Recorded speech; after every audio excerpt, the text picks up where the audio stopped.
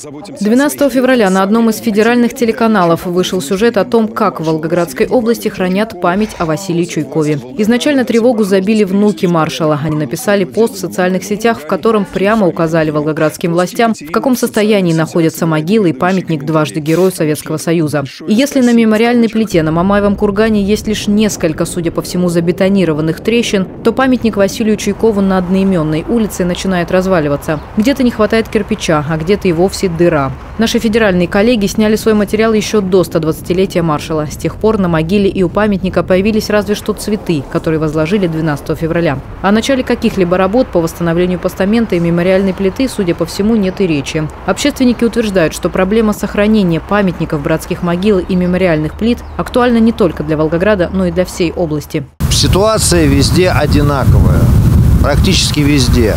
То есть местные жители ухаживают, э, они сажают цветы, подкрашивают заборчики, а, но а, сами конструкции приходят в негодность. И местные жители это и не могут сами своими силами сделать, и просто не имеют права.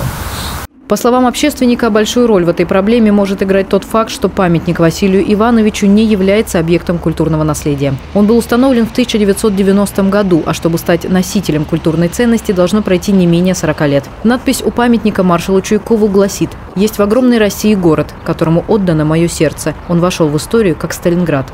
Хочется верить, что наш город не войдет в другую, новейшую историю, когда памятники тех, кто подарил нам чистое небо над головой, рушат сознательно.